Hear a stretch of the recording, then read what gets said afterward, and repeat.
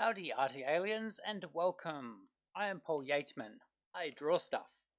In today's video I am finishing my drawing of a caterpillar by slotting it into a sort of a cartoon.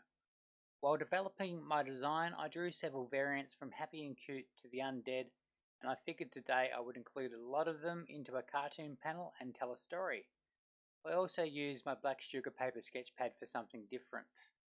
This took about 30 minutes to draw in actuality. Two days ago, I drew a bunch of things and explored some character creation. My favourite for the day was the smiling caterpillar.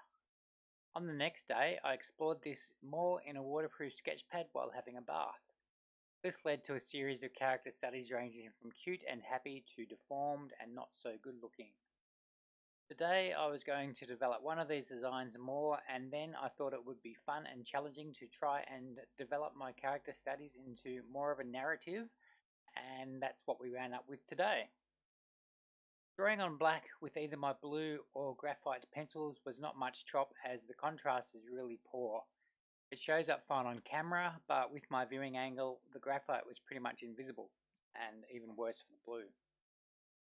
Still, by referencing what my camera was picking up, I was able to create rough sketches using my HB and from there I used my coloured white pencil to sketch out my drawing.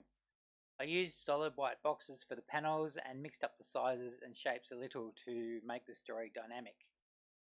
I figured that the caterpillar could have a munch on some infected or perhaps genetically modified food and have a bad reaction. And this is not social commentary as I love modified food.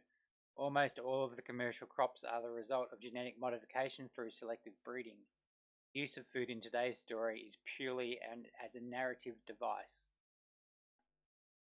For my story, the key elements are Caterpillar sees food. Caterpillar eats food. The beastie looks a bit worried about what he has just eaten. We cut to a wider shot where the caterpillar seems a bit distressed and it has also lost its limbs and its head spikes have fully mutated into antennae. Our final scene is of the caterpillar looking very much transformed and drooling. By bending the antenna down, I've tried to show that the animal is sad at what it has become, which also implies that the animal is also fully conscious of what it has become. Overall, my use of colour was fairly sparse. I did add full colour backgrounds in the end, though I kept that fairly muted. For the final element, I graduated the green, though on camera that looks pretty wonky. And when I've coloured I've kept my strokes fairly light to give the texture of the paper in the background. So what do you think? Can you do better? Show me!